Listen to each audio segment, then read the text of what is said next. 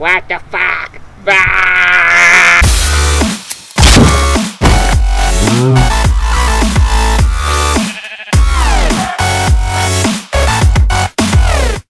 Hey guys, what's up? It's the Minecraft Sauce here today doing a Blender tutorial part 4 of the intro series. Now I'm sorry this is so late, I guess I just forgot to make it, uh, if that makes sense. But we've got a new project file here, and um, so this is what's really in it, just right now, just some text, green outline, white inside, lamp, environment lighting, a plane that's slightly reflective, and so you get this result. Anyways, so I'm actually going to be teaching you how to do a lot of things in this tutorial, and that includes 2D animation. So actually, why don't we start with 2D animation? So how do you do 2D animation in Blender? Well, uh, the first thing you need to do is configure the camera properties. Alright, so uh, right click the camera and then uh, up here there should be like where you find your world, object, modifier, physics, texture, material, that kind of header tab place. You find the camera after you've selected it, of course. And then you have lens. So you can do a bunch of things with this, but really all you want to do to make this 2D is change perspective uh, to orthographic. And then when we go into camera mode, it kind of looks it, it looks a bit different than perspective. It's not exactly 2D yet, but it is kind of like it. This is actually kind of like a 2D, 3D kind of thing, and I, I used it in one of my videos, uh, one of my animations. And so now what we need to do is uh, right click the camera, select the object box, and look at rotation. So if you have anything like 86, automatically change it to 90. Um, so it should always be 90 or 0. So this is like 0.324. We want that 0. And this is 86. So let's change that to 90. And now we actually have the camera 2D. So if we render this, we may not be able to see the plane because, well, you just can't. Uh, if you want to, and you have a plane, you can just go rotate and then rotate it just a bit like that so you can see it and you can still see the reflectivity. Anyway, so that's how to go 2D. You can pretty much bring your character in here as well. Or like add cube. Let's just pretend this is uh, a grass block. Alright, so it's there. It's 2D. And it'll have the texture if you've textured it. So actually, why don't we bring in a grass block? So I'm going to go File, Append, and I'm going to look for my blocks. Uh, I told you guys to download blocks when I was doing the intro before the intro tutorial and so if you go look at like the last three you'll find it maybe even in this description uh, this might take a while alright I found it so uh, I'll just click blocks here go into object and here I've got all the blocks so why not because we're going with a green color scheme uh, go with mossy cobblestone. So yeah, that'll work. I was thinking of grass, but okay. So we'll just grab this, render it, make sure it's got the texture. Sure as hell does. We can size this down, and we can even bring it in front of the text if we want to. If we go into 3D mode, let's size the camera down a bit because it's a bit big. Apparently we can't, so I'll just leave that be.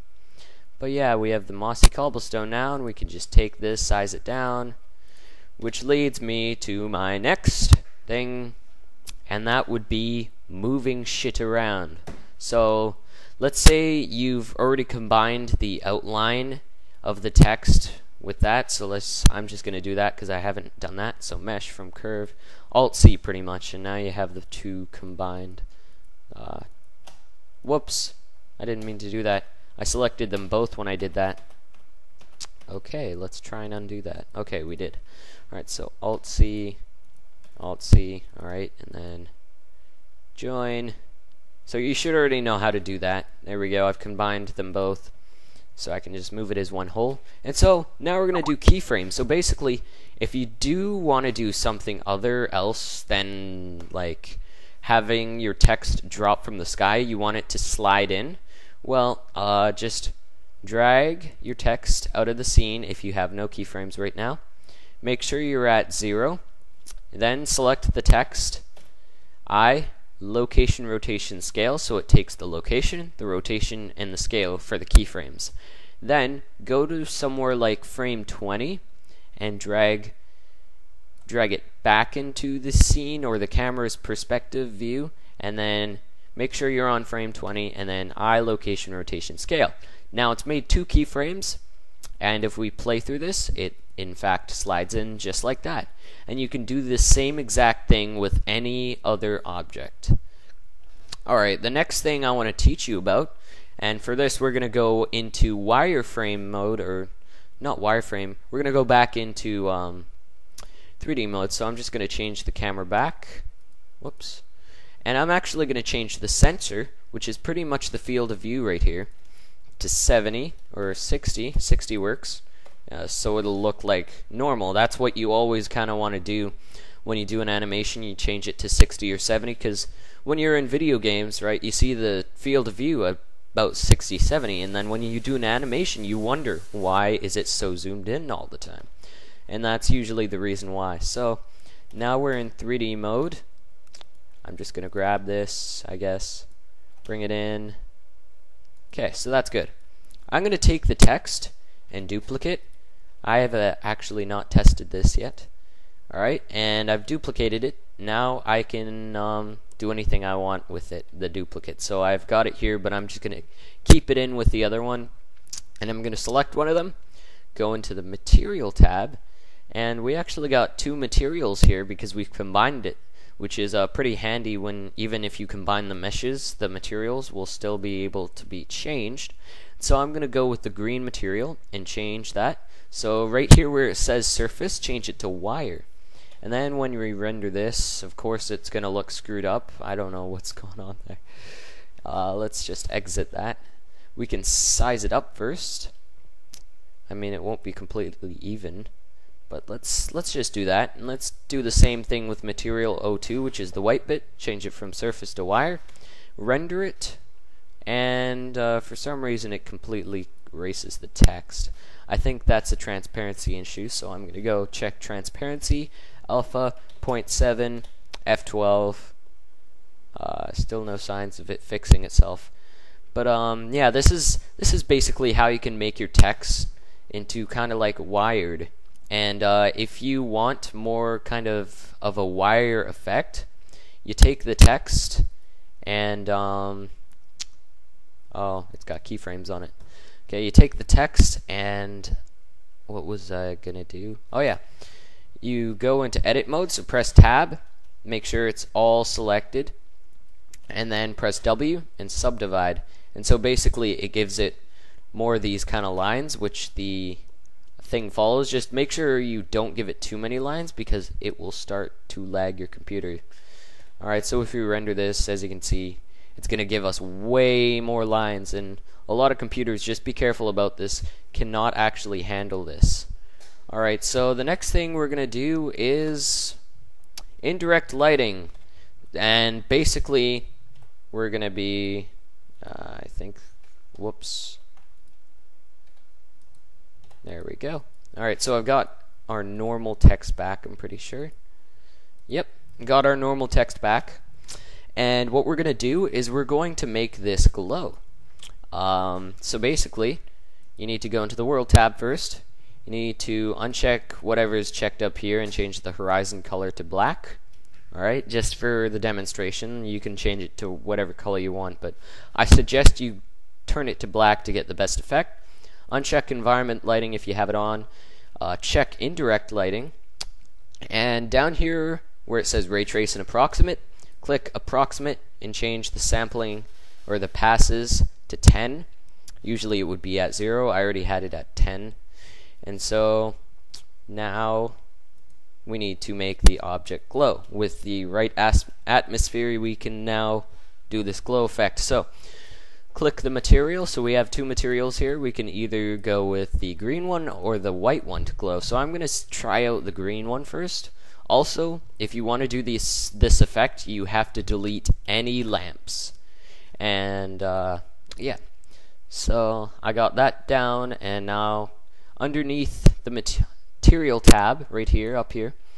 Uh, scroll down a bit and you'll run into shading and it'll say emit. Type in 2 or you can do 1. I'm actually going to do 1 and render that and as you can see it is glowing and it's glowing a lot. So if you want to turn it down, just turn down emit. So let's go 0.4 and see what happens. And also, uh, we can even glow the white material if we want to. So why don't we go ahead and do that? Oh, and you can also make this wire. So let's make the green material wire and see what happens with this glow effect. It looks pretty cool in the blackness. And let's go with the white material and make that go emit to and that's pretty cool I think it's a bit too much though so let's go 0.4 I'm gonna change this back to surface. And so yeah that's how you can make your text glow. It's pretty cool. It's a pretty cool feature. The next thing I want to teach you is stars and this is actually pretty perfect. So um to make stars if you want to make stars you can go into the world tab.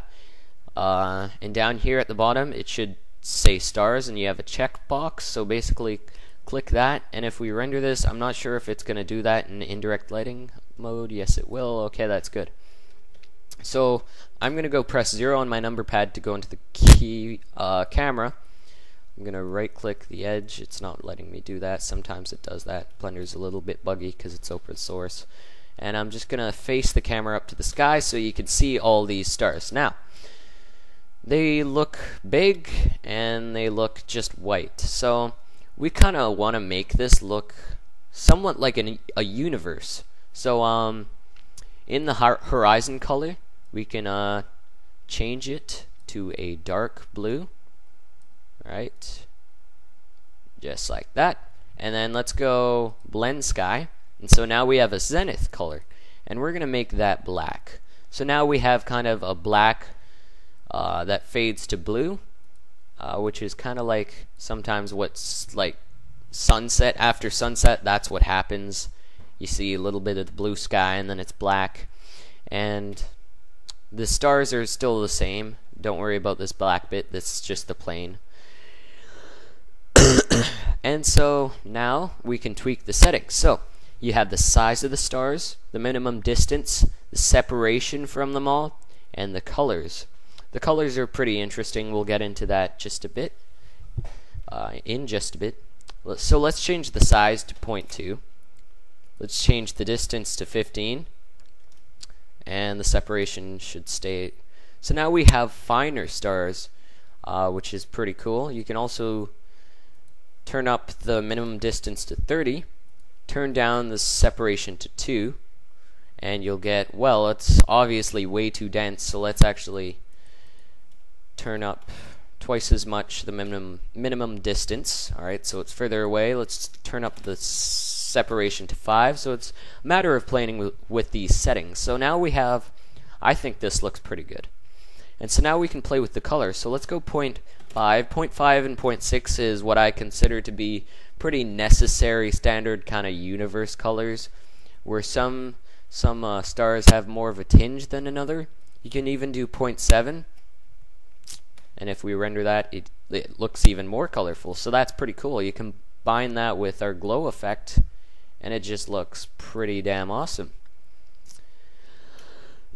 Alright so the next thing I want to tell, you about is um, I was going to tell you about bevel text which is basically where you put a bevel on the text but I'm I'm not sure if, if, if I've already taught you that. But um yeah I, I actually think that's pretty much the end of the tutorial. And I really hope you guys enjoyed this and learned a lot because I actually managed to put a lot into this tutorial. So, um, hope you guys will use my tips and tricks. This is the end of the series, and uh, yeah, so if this is your first time watching and you haven't watched the other tutorials, go watch them and uh, subscribe, watch my videos. It helps me out. Like them, comment, share them with your friends, and uh, so yeah, that's that's about it. I'm the Minecraft Sauce, and see ya.